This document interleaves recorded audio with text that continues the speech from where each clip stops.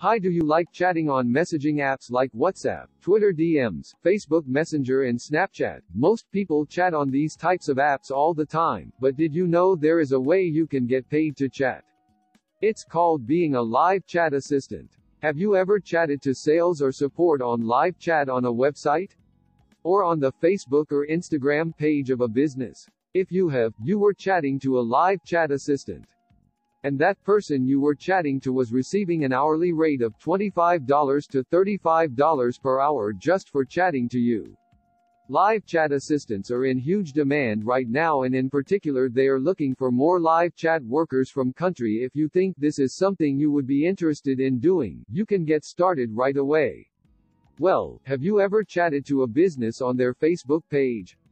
Or chatted to a business on any other social media platform? If you have, then the person you were chatting to on the other end is exactly the type of person who gets paid for chatting on social media. Businesses hire thousands and thousands of people to chat to their customers on their website and all social media platforms, including Facebook Messenger.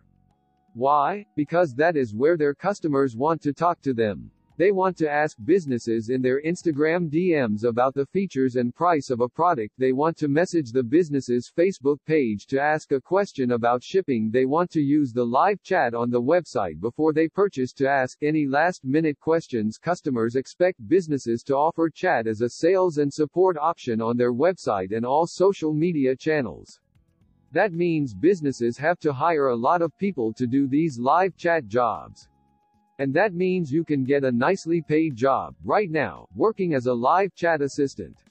Starting rates are 25 to $35 per hour. Full training is provided, no experience necessary.